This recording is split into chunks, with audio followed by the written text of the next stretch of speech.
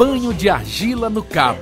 Em meio a um trecho de Mata Atlântica preservada, o visitante chega num dos pontos turísticos mais peculiares do município. Um pequeno lago de solo argiloso, onde cada um pode banhar-se na lama, que, segundo moradores locais, tem propriedades medicinais.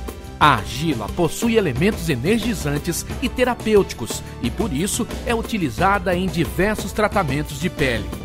O tratamento de saúde com argila é utilizado desde o Império Egípcio para deixar os imperadores mais bonitos.